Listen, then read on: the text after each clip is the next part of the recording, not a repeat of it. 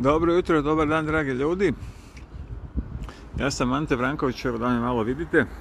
Evo to sam ja. ja sam vam tu pred državnim odvjetništvom e, Republike Hrvatske i sad sam odlučio snimiti samo jedan kratki video. Vjerojatno ste vidjeli ovaj moj video od 31.8. kada me tu napala Zorka Fumić zajedno sa svojim pratiocem, pretpostavljam da je to suprug da jel ja znam ko je ona. Uglavnom ja vam tu danas prosvjedujem, sada je 8 sati i 41 minuta, 23.9. je, četvrtak.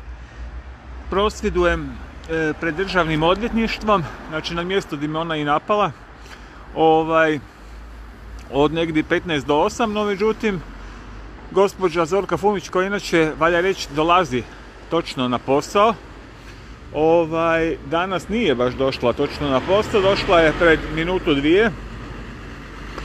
Uglavnom, ovaj, ja je namjeravam, znači došla je negdje u 8.40. Ja je namjeravam sada uručbirati za u 9 sati kada to bude moguće.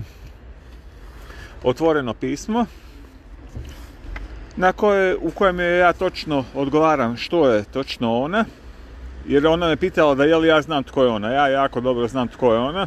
Ja znam da je on, ona, kako je rekao gospodin Mamić, kriminalac i zaštitnik kriminala. Znači on je to rekao javno na televiziji.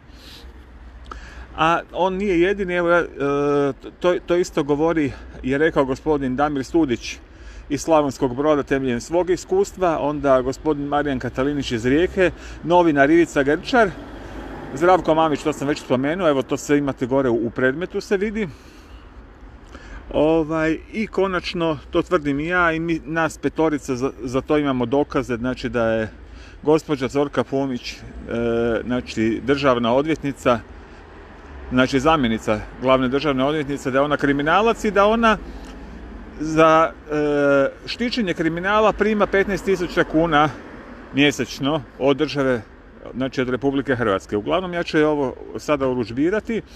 E, imam e, ovaj e, tu također ću uručbirati CD sa četiri videa koje sam snimio o njoj. Možete te videe i vi sami vidjeti ako na YouTube-u ovaj, napišete Zorka Fumić.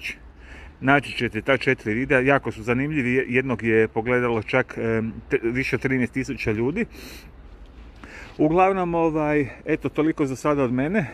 Pa kad bude nešto novo, ovaj, ja ću vam se ponovno javiti tu od ispred državnog odvjetništva zbog toga jer sam u štrajku glađu i vjerujem da ću izgubio sam već preko 30 kila i kad izgubim još jedno 20 to će sigurno doći u novine i onda će stvar eskalirati i onda će se riješiti jer kod nas se ne može ništa riješiti bez cirkusa, to smo vidjeli u slučaju gospodina Zdravka Mamića. Eto, Pozdrav lijepi od mene. Evo jedna krasna jesenja slika. Tu još malo vidite prema Zrinjevcu. Eto, hvala vam i do slušanja ili do viđenja kako već. Hvala.